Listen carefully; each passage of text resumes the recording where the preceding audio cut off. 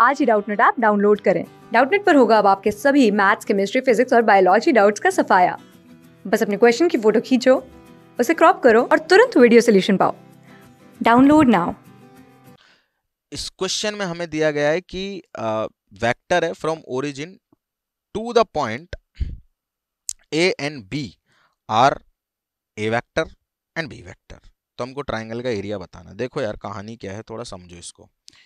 हमें कुछ ऐसा दिया गया है कि ये ओरिजिन है, यहाँ पे पॉइंट ए है, यहाँ पे मान लेते कहीं पॉइंट बी है, ये हो गया एक वेक्टर ये हो गया दूसरा वेक्टर ठीक है?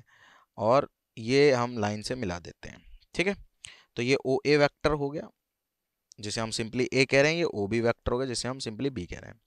अगर मुझे ट्राइंगल की दो साइड पता है, क्या पता है ट्राइंगल की दो साइड पता है तो क्या मैं उसका एरिया निकाल सकता हूँ? बिल्कुल क्रॉस प्रोडक्ट करूँगा, जो साइड मुझे वेक्टर फॉर्म में पता है उसका, और मैग्नीट्यूड निकाल दूँगा। Simple as that.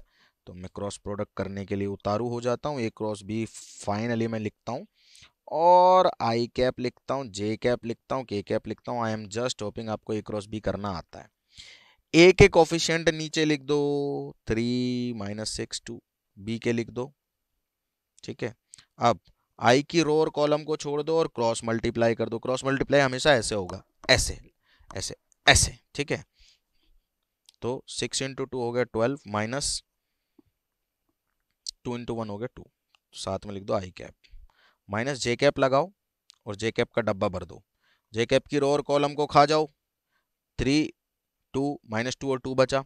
तो थ्री का मतलब जे कैप की रो और जे कैप की कॉलम इसको और इसको छोड़ दो, बाकी को मल्टीप्लाई कर दो तो three into minus two minus six minus two into two minus four ठीक है? Two into two plus four sorry minus sign तो अपना फॉर्मूला का है, ठीक है?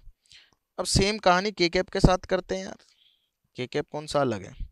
रो और कॉलम को खा जाओ, बचे हुए को मल्टीप्लाई कर दो तो ये आया, पहले प्लस के कैप लिख लो तो ये आएगा थ्री माइनस माइनस ट्वेल्व तो ये बना दस आई कैप प्लस दस जे कैप प्लस पंद्रह के कैप। ठीक है, ओए हुई हुई अब इसका मैग्नीट्यूड निकालना है यार, ये बड़ा काम है।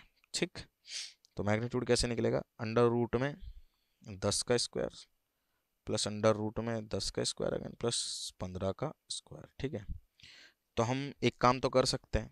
क्या कर सकते हैं? देखो टू बाई फाइव कुछ कुछ ऐसा बाहर आ रहा है। ठीक है, हम थोड़ा थोड़ा अंदर मैनिपुलेशन कर सकते हैं। इसको मैं फाइव इंटू टू लिख सकता हूँ। इसको मैं फाइव इंटू टू लिख सकता हूँ, इसको मैं फाइव इंटू थ्री लिख सकता हूँ।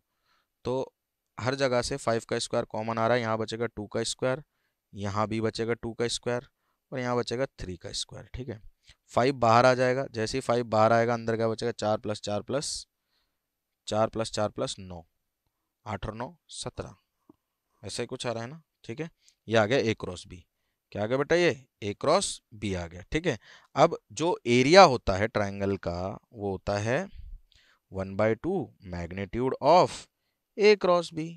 तो वन बाय टू लिखा, मैग्नीट्यूड आ रहा फाइव रूट सेवनटीन।